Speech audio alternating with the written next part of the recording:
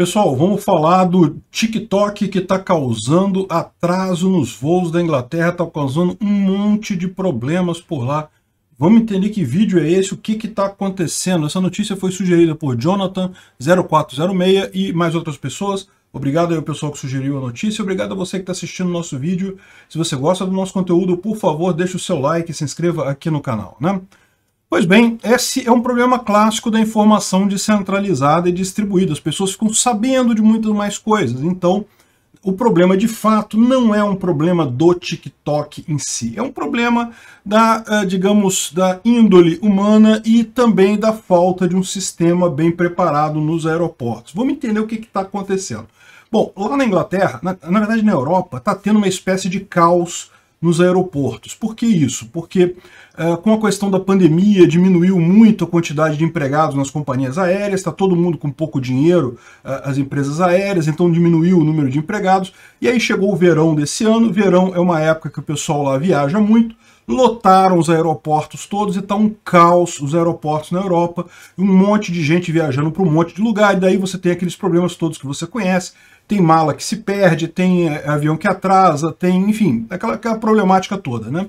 Um dos problemas que está acontecendo são filas gigantescas na hora de embarcar no, uh, no avião. E aí o que, que acontece nessas filas? Vocês sabem, já deve ter passado por isso.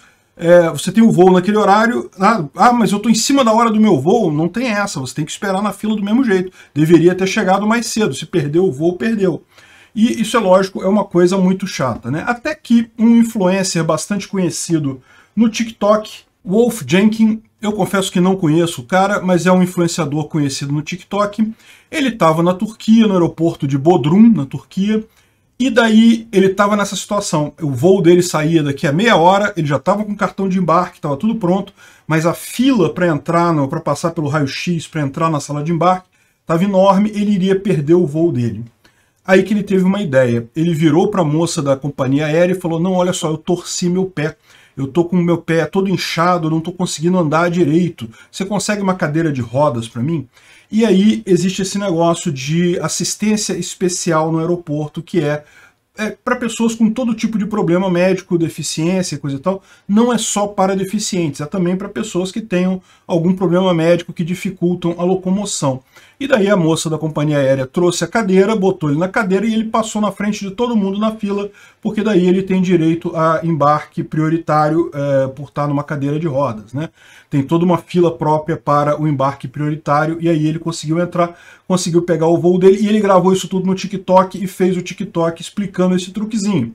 Ele estava com o tornozelo é, é, machucado? Não, não estava, ele fingiu. Disse que estava doendo muito, não sei o que lá, torci meu tornozelo, e não, não precisou enfaixar, não, vou ter que ver um médico quando eu chegar lá, mas tá doendo muito, não tô conseguindo ficar em pé, coisa e tal. Enfim, né? E o pessoal é o seguinte, o problema disso é, um monte de gente viu esse vídeo, está um caos nos aeroportos da Europa, o que, que o pessoal começou a fazer? Exatamente isso, né? E como o processo dos aeroportos não prevê nenhum tipo de, de verificação, de checagem, de problema, sim, porque uh, antes disso, só quando a pessoa realmente precisava, quando ela realmente estava com o tornozelo machucado que ela pedia esse tipo de coisa. Então não tinha nenhum processo para verificar se isso faz sentido, se realmente a pessoa está precisando do auxílio especial ou não, né? E daí o que eles estão percebendo é isso. Atualmente existem muito mais passageiros solicitando assistência especial do que antes da pandemia, embora o aeroporto esteja atendendo menos passageiros do que em 2017. Ou seja, é, nesse momento tem menos passageiros e, no entanto, muito mais gente com necessidades especiais. O que mostra que o pessoal está usando o truquezinho, está dizendo que chega lá aquela fila enorme, né, sabe que vai demorar, é um saco ficar nessas filas de aeroporto.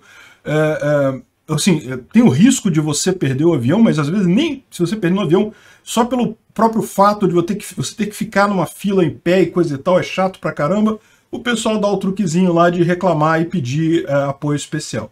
Com o resultado disso, o que está acontecendo? As pessoas que efetivamente precisam acabam ficando menos atendidas, porque a equipe do aeroporto tem lá uma quantidade de pessoas destinadas para esse tipo de coisa, e quando alguém de fato precisa disso, né, acaba atrasando porque está atendendo o turista que não quer ficar parado na fila esperando. Né? E daí eles já reportaram até o caso de um tetraplégico que acabou ficando parado dentro do, do, do avião, de uma aeronave da British Airways, porque uh, os serviços de assistência especial demoraram a aparecer porque estavam sobrecarregados atendendo o pessoal querendo furar fila, né? Então vamos lá, o problema é o vídeo no TikTok? Não, o vídeo no TikTok, meu amigo, o cara só contou um caso dele lá que ele conseguiu passar e o resto do pessoal imitou e coisa e tal, então é só informação. Informação na ética libertária nunca é proibida, ela nunca deve ser censurada, informação nunca é o problema. O problema é outra coisa. Então, nesse caso, o que, que é o problema de fato? Você tem dois problemas aí. Primeiro é, é a índole pessoal, né? As pessoas estão cometendo uma fraude. Elas estão dizendo que estão doentes, que estão com problema, sem realmente estarem com problema. Mas tem outra coisa também. Eu vejo aí, nesse caso, alguns problemas no próprio sistema do aeroporto também que poderia ser melhorado. Por exemplo, me parece bastante óbvio que deveria haver uma fila prioritária para voos que estão perto de sair. É muito fácil a pessoa passar pela fila e falar, olha só, falta 15 minutos para o meu voo decolar, eu preciso ir na frente, eu preciso passar na frente para é, conseguir pegar meu voo, senão eu vou perder minha passagem. Né? Esse tipo de coisa não me parece impossível de se fazer, é fácil de verificar. Enfim, não sei por que isso não existe, por que as pessoas acabam perdendo voo. Eu mesmo já quase perdi voo nessa situação. Não, tem que ficar na fila, não interessa.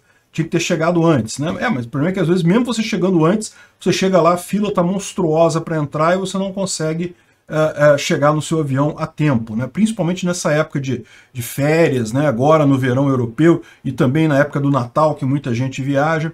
Enfim, uh, então isso é um problema. O outro problema, evidentemente, é o caso de você não ter nenhum tipo de verificação para a pessoa que está passando mal. Eu não sei como seria possível resolver esse tipo de coisa, porque eu concordo que se o hospital for exigir uma, um atestado médico de todo mundo, é um problema, né? Porque a pessoa às vezes está passando mal ali, ela pode cair, coisa e tal, pode ser até pior se a atendente não uh, acreditar na palavra da pessoa meramente e providenciar a cadeira de rodas para ela, né?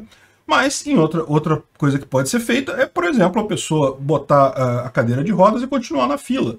Né? Se, a, se, a, pessoa tem deficiência, tem alguma coisa grave, tudo bem ela passar pelo, pela, prioridade, pela prioridade, mas uma pessoa que torceu o tornozelo, ou que tem uma, uma deficiência, um problema temporário que não é tão sério assim, beleza, dá a cadeira de rodas para ela sentar, para não ter que ficar em pé na fila. De fato, eu imagino que você ter um tornozelo dolorido e ter que ficar em pé na fila deve ser um negócio complicado, mas beleza, fica ali na fila, pronto, né? A pessoa está ali, fora isso ela está bem continua na fila junto com o resto do pessoal. Enfim, eu não sei qual é a solução, mas uma coisa eu digo para vocês, a solução nunca é a informação. A informação, na era da informação distribuída e descentralizada, vai todo mundo ficar sabendo mesmo, de qualquer forma, desse truquezinho. Aqui no Brasil, como tem muito, muita gente com essa índole aqui, o pessoal adora tomar, fazer uma vantagem nisso daí, eu não duvido nada que já deve ter muita gente que viu isso no TikTok e já está usando isso nos aeroportos, né? Mas, de novo, a, a, solução nunca é censurar a informação, evitar que a informação seja dada. A solução tem que estar em algum outro ponto. Tem que estar ou no sistema, na forma como a coisa está fazendo, ou então, eventualmente, uma punição para a pessoa que mentir, coisa e tal. Enfim, qual é a solução aí? É outra. Nunca é censura de informação. Obrigado por assistir o vídeo até o final. Além de curtir, compartilhar e se inscrever no canal, considere se tornar patrocinador com valores a partir de R$ 1,99. Clique no botão Seja Membro abaixo para saber as condições e vantagens de patrocinar o canal. Mais informações sobre o nosso projeto, visite nossos sites indicados na tela.